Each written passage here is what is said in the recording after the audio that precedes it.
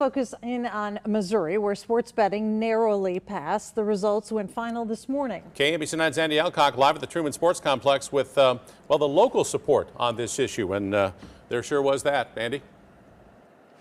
Yeah, absolutely, Chris and Laura. The Chiefs, Royals, and Current all supported passage of this constitutional amendment, and there was big money at stake. Billions with a B, we're told. Also, according to state records, close to $30 million was donated to convince Missourians to either vote yes or no on this issue in October alone.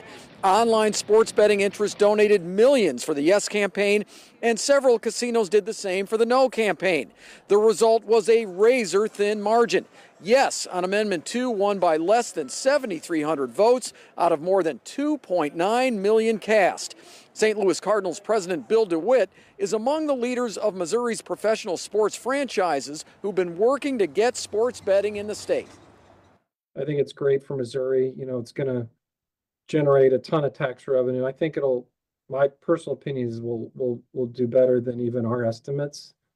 And um, I'm just really glad that uh, we were able to get it done. And supporters say that 10% tax on sports bets will largely go to education in Missouri and also to help problem gamblers. Reporting live at the Truman Sports Complex, Andy Alcock, KMBC 9 News. All right, Andy, thanks. And teams like the Chiefs and Royals will get more money from advertising with the online betting services. The state is supposed to set up the system for it by December 1st, 2025.